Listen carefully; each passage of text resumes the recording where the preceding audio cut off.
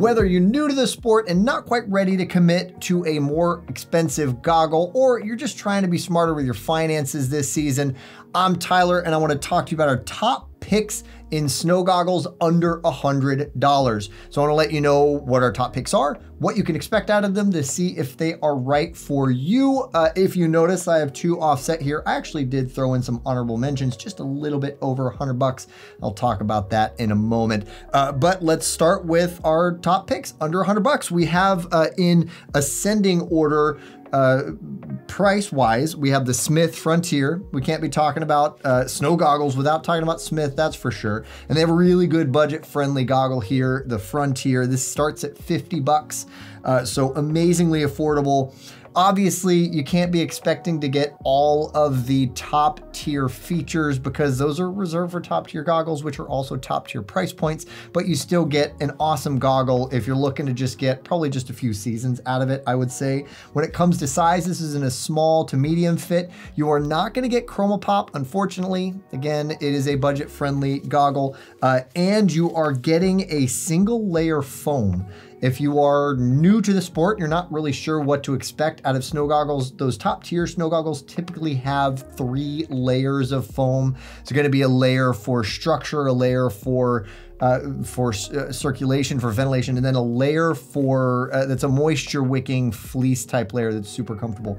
Uh, this is very comfortable. It's extremely soft, but it is only one layer, uh, but it is nice and thick. Really straightforward goggle. As you can see, a full rimmed goggle, and you have venting around the entire goggle all around it and they do have their uh, whatever they call their their webbing design the the venting channel structure just to make it comfortable but also rigid uh, i'll throw this on real quick just so you can see what it looks like on the face i'm probably uh, more of a medium face, solid medium. So this actually fits me pretty decently well. Uh, don't mind how it looks on me without like a helmet and uh, I'm wearing a freaking button-up t-shirt, but whatever. Uh, so it's comfortable. It's it's a great straightforward goggle again at an amazing price point. Uh, next up, we have a Giro. This is aimed more at a probably youth, I think is what they targeted as, but also if you just happen to have a smaller head, this is awesome. Again, starts at that $50 price point. Again, really straightforward goggle. Looks pretty cool. They have some pretty unique, cool colorways. Uh, and this actually has a dual layer foam. So you have uh, that single layer there uh, that is similar to the Smith, but then you do have that nice micro fleece, which makes contact with your skin that is also moisture wicking, which is really nice to have. That can also help with fogging as well. It's gonna help to minimize fogging if it's getting the moisture off of your face uh, and away from the goggle, that certainly helps. And good venting as well, not full, no, pretty close to full perimeter venting actually. You got it on the sides and on the bottom. Uh, really solid goggle, just also really quite small. I can throw this on here as well, why not? And you'll see that it looks pretty, uh, probably comically small on me. So if you have an average size face or even maybe like a small to average, it's probably gonna be too small for you. Uh, but something to be aware of if you have an extra small face or if you're shopping for your little one. Uh, before I get too much into this, I do want to also point out another option that you should be considering if you're a prescription wearer. Uh, I know this is good, kind of getting into, you know, adding on to the price a little bit, but if you're a prescription wearer, uh, I don't think any of these are OTG. I should have looked into that. No, one of these. I'll, I'll talk about that one uh, here in a moment. But this prescription insert is amazing. You don't have to worry about fussing with jamming your glasses into your goggle. You don't have to worry about the frustration that contacts can be on the mountain if you're new. Maybe you're unaware of this. It, uh, the weather, the the airflow through the goggle as it's designed, as I was mentioning, ventilation, uh, it pushes air through the goggle and it can dry out your contacts even faster, which makes it so that you don't want to spend as long on the mountain because you want to get your contacts out. This is an awesome solution. If you're a prescription wearer, don't sleep on this. We have tons of more videos if you want more information on that. You can check that out. But we design them, we manufacture them, not only as snow enthusiasts, snowboarder skiers, but also as opticians. I think that's super important when you're making a prescription insert to be an optician, like have an optical mind when you're talking about prescription, uh, something that is to hold a prescription lens. Anyway, I digress, but importantly, I think. Next up, we have a Dragon. This is the DX3 OTG. You don't need to worry about that. Again, I did say I would call out OTG. So this is technically an OTG goggle. It's huge. It gives you a little bit of extra uh, area here that, that the foam can compress a bit more to accommodate a frame. If you're like me and you like big glasses, that can be a problem. That's another reason that I think the inserts are awesome. But anyway, this is an option for you as an OTG. This is a cylindrical lens. I haven't been talking much about that, and I should have been. All of these actually are cylindrical, except for when we get into those uh, honorable mentions. Cylindrical just means it curves this way, and this way it is flat. Uh, which is more traditional way of doing goggles, which is something you're going to find a lot more commonly on more budget friendly goggles. This is a pretty solid budget friendly goggle, all things considered.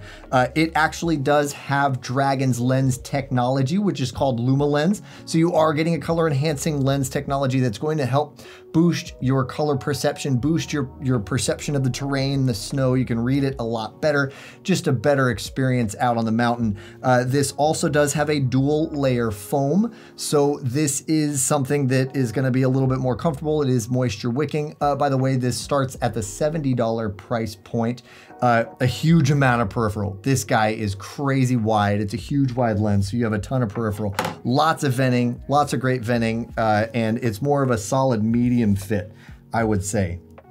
Even medium to large, because feeling I can, it feels big. There's a lot of lens here and it's a ton of lens real estate for that peripheral vision. So awesome goggle, really good option for uh, something that is bud uh, budget friendly if you're looking for something that's at medium and I would say even medium to large. Next up, Spy. This is the Woot awesome goggle. Again, this guy starts at $70. Uh, it is about a medium fit. Cool thing to note, this does come with a bonus lens. You aren't getting their happy tech, but it is still an awesome goggle. And it's cool to get two lenses. And that's something that's not very typical in a budget friendly goggle. They're gonna skip that bonus lens for you so that you can save a little bit of extra money. Uh, but this guy comes with it. And what you're gonna get with that is a lens that's good for brighter light conditions and then a lens good for lower light conditions, cloudy conditions, snowy conditions. You can still go out and have fun on the mountain. Uh, with this, you're getting their scoop ventilation system, so really good ventilation uh, around almost the entire goggle, but plenty of uh, plenty of real estate there for that venting. Also, triple layer foam, which is pretty cool. So you're getting that triple layer foam that I mentioned earlier, that moisture wicking fleece that makes contact with your face. Really good option at a great price point. Last but certainly not least in this, we have an Oakley, which is awesome. The Target line. I think this is the only goggle that they have. I should know this. They might have some other budget friendly ones, uh, but this is definitely the best of their budget friendly ones. Virtually every other goggle they have is just fully top tier because they make really good stuff. Uh, but you are getting some top tier options here. The only thing you're losing out on with the Target line is the Prizm lens technology. But this starts at $73, awesome price point, medium to large fit, great style, full frame design, really looks, uh, I mean, just like a good classic goggle. And oh man, it's it feels so uh, comparable actually to the DX3, how much I feel uh, the goggle across my head. It's big. Uh, it doesn't feel oversized though. This feels like it actually fits me a little better. So probably a solid medium. If you're large, you could probably fit this as well. When it comes to sizing, snow goggles are pretty forgiving. Uh, something just to keep in mind. Unless it's really way too small, then it'll be uncomfortable. But this is a really solid goggle.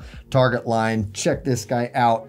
Uh, I love it. So now for those honorable mentions. First off, we have 100%. If you're familiar with 100%, it's because they make awesome motocross goggles. They also make awesome sunglasses, uh, both sport and lifestyle sunglasses. They're finally in the snow goggle worlds, which is cool because they make really good goggles. This is the Okan. It is $110, so a little bit over that uh, $100 marker, uh, but you're getting some more premium features, which is awesome. You are not getting a bonus lens, but you are getting their lens technology, which is called HiPER, which again is a lens that's tuned for snow conditions to make it easier to read the mountain, make it easier to read the ins and outs of the snow, and again, just have a better day out on the mountain. So not a bonus lens, but you do get their technology. Uh, and again, a really straightforward looking goggle. This is, uh, yeah, it's cylindrical. Thought there was a chance that it might have been toric, but this is a cylindrical goggle as well. Full frame, again, tons of venting, really solid style. Uh, again, just a straightforward design. With these more budget-friendly goggles, you're going to find more straightforward designs as opposed to those, uh, you know, kind of more stylish. I might not, I shouldn't even probably say that, but That's what I've found anyway. Really straightforward goggle. Awesome. 100%. I'm glad to see them in the snow world. And then last but not least, in the honorable mentions, we have a goggle company that I feel like does not get as much love as they deserve. This is the Zeal Nomad. Uh, this is about a medium fit as well. Again, awesome uh, ventilation. You do get triple layer foam. If I didn't mention that, on the 100%, you also get triple layer foam on this. I might have, I might not have. Uh, but triple layer foam on the Nomad. This guy starts at 109. It goes all the way up to 250 though. So depending on what lens combination, what lens uh, options you go with, because you can get a bonus lens that is an option, but you don't have to, and you can save some money if you don't go with a bonus lens. You also have cool technology with Zeal, like their uh, polarized lenses. Also, they're polarized photochromic lenses, which means that they get darker or lighter depending on the light conditions. But again, that's going to be for when you have a beefier budget or when you're okay with uh, spending a little bit more. But you could get this goggle at, at as low as $109 really awesome goggle and you are getting all of their uh, technologies potentially uh, with this goggle, including their Everclear anti-fog and their PermaShield hard PermaShield hard coat. It's a mouthful, uh, which means that it is uh, the anti-fog coating on the backside is actually a hard coat. And so it doesn't wipe off. It's not something you have to worry about fussing with nearly as much. Awesome goggle. And so that wraps it up. I, I think this is a pretty good list for you to be able to pick out an ideal goggle for you at a really friendly budget. Now that you know our top picks for goggles under 100 and even a couple others a little bit over that, you should check out our video that we did on the top picks for snow goggle lens colors. It's good stuff there too. If you like this, if it was helpful, throw us a like because that helps us out. Also subscribe. We have great content just like this, tons more content, everything eyewear related, and we'd love you to come along with us as we do more. Also check us out at our social media outlets because I think you would enjoy that too. Thank you for watching.